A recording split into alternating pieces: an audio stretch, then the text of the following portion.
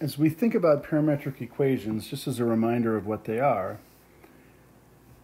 we have the x position and the y position each plotted as different functions of time, f of t and g of t. So let's look at an example where we have t squared minus 4 will be the x position at any time, and the y position will be two, uh, t over 2. So as we think about what that might look like, you could go to your graphing calculator and put your calculator into parametric mode and do everything we're going to do by hand. And I would encourage you to do that to make sure that the graphing calculator graph looks exactly like what we will do by hand. So I've built a table and we're going to start to graph what this looks like. So we've built a table when t is negative 2, then we're going to plug a negative 2 in for both the x position and the y position. Negative 2 squared is 4 minus 4 is 0. Similarly, when I plug a negative 2 here, negative 2 over 2 is negative 1. And so the very first point that I would plot would be 0, negative 1. I'd put a dot right there. I'm going to fill out the rest of this table. You can do it yourself as well. We are just plugging in for different t values in the table and finding the appropriate value of x and y.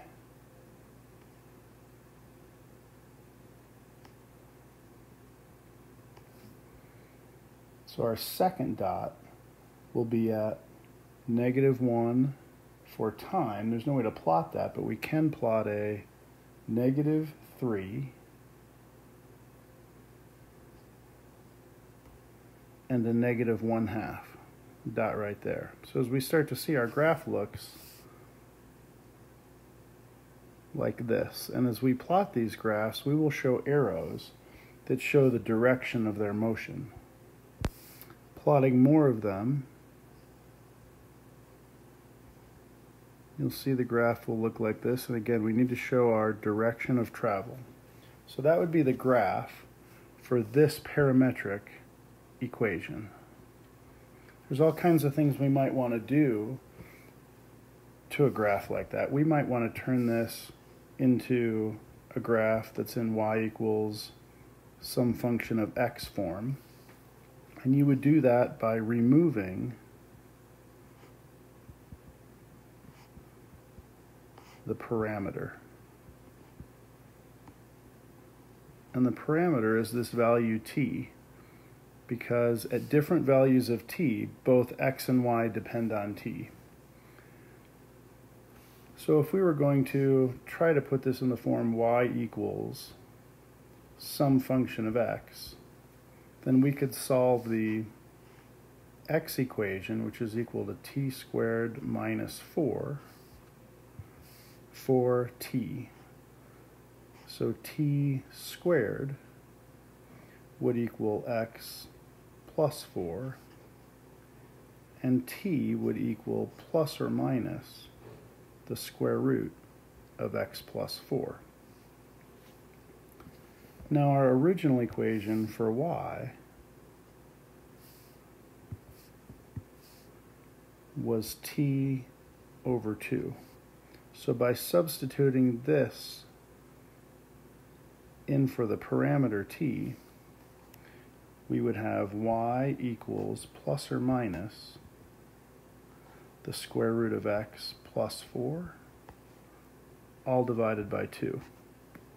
And that is a parabola that's on its side. It's not a function, it wouldn't pass the vertical line test. But the important thing to realize is that our parameter was only when t was between negative 2 and 3. And so I wouldn't have an arrow going forever. I would stop this at that value of t equals 3. If I wanted to include all values of time, then I would say my domain is less than infinity, greater than negative infinity. And if that's the case, then this would go on forever, both directions. And we would have arrows like that. Now let's take a look at how we would find the slope tangent to the curve at the time t equals 1. So t equals 1 in our table are all of these values here. Can barely see them as I highlight them like that. Let's highlight them like this. Those are the values we're looking for, and that is this time on our graph right here. So we're really saying, hey, what's the slope right there? It looks like it might be about a quarter or an eighth, who knows? But we can find it by looking at dy dx and understanding that dy dx mathematically is dy dt over dx dt. If we were to do the actual division and multiply by the reciprocal, we would really have dy over dt times dt over dx you'd see that mathematically the dt's would cancel out and leave us just what we thought we should have, dy dx. So in our case, to find dy dt, we are going to take the derivative of the position function in the y direction. So this is really just y prime. In our case, it was 1 half.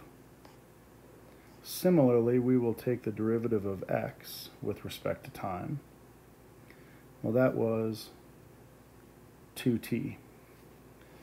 And so our answer is 1 half over 2t.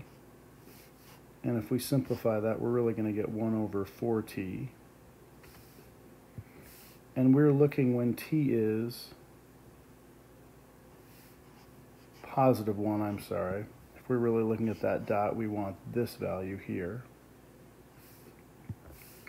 And so we, we do, we have 1 over 4 times 1, or 1 fourth, and that looks just like that slope right there. Another thing we might be asked is the velocity vector at that same point, t equals 1. Well, the vector suggests that we are going to have an x component and a y component.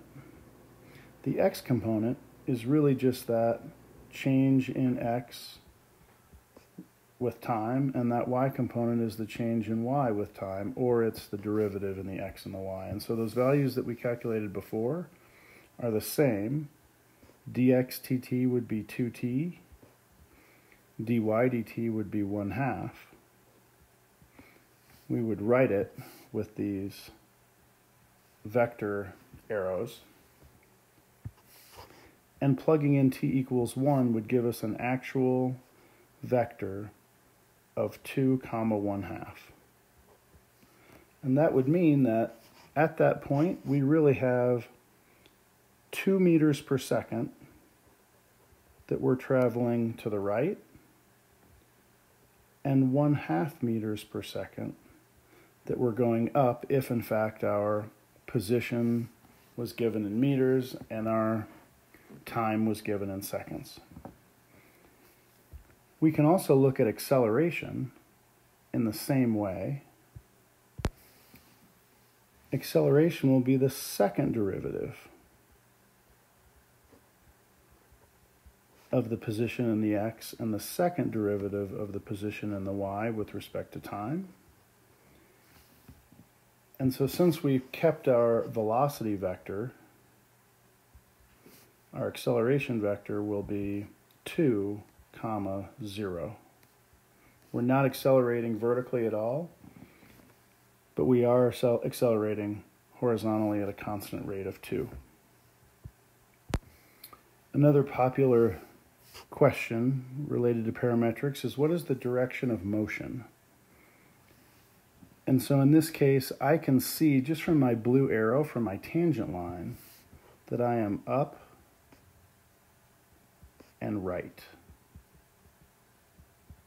But another way to see this is going back and looking at our velocity vector. If we looked at that velocity vector, we had 2t comma 1 half. And that could that told us right there because this was positive x rate, then the movement is to the right and the movement is up. I'm going to put another velocity vector here. If I had had a velocity vector like this, negative 2t comma um, 3t squared, and I was looking at t equals negative 2, we would have to determine what kind of values we had here. Here we'd have negative 2 times a negative 2. Well, that would be positive 4. Let's just say that this was negative 3t squared for the y rate, the y component of the velocity, if you will. Then we would have negative 3 times negative 2 squared. Well, that would give us positive 4 times negative 3 is negative 12. For this vector, it would mean we would be moving to the right and down. And so we would really have a tangent line going like that. That would be our direction of motion. All from the velocity vector, we wouldn't have to have had a picture of our path of motion, which sometimes can be hard to create. Another popular question relative to parametrics is what is the speed at a particular time? Well, the speed, when we think about this, we are moving in the x direction at a vector of 2t, and in the y direction, a vector of 1 half.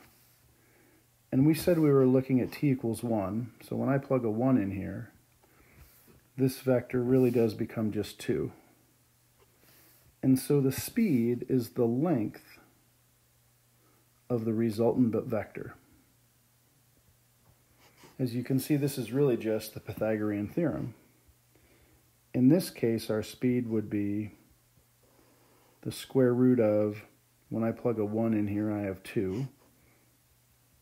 2 squared plus 1 half squared. So we'd have 4. 1 half squared is a quarter, so we'd have 4 and a quarter, the square root of that. Hopefully you can see because we are squaring both components, our speed will always be positive. and if we were going to do this more generally for any case, what we're doing to find speed is we're taking the square root of the rate of change of the position in the x squared, or the x component of the velocity squared, plus the y component of the velocity squared. That will always give you speed.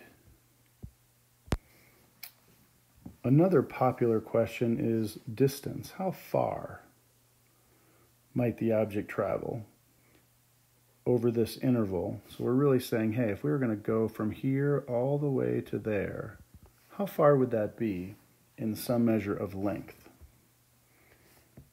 And so the length is the integral. We are going to sum up all of these individual speed vectors, speed lengths. So we are going to sum up the integral, in our case from negative 2 to 3, the rate in the x squared plus the rate in the y squared dt. And so in our case, dx dt we found is 2t, and dy dt was always that 1 half.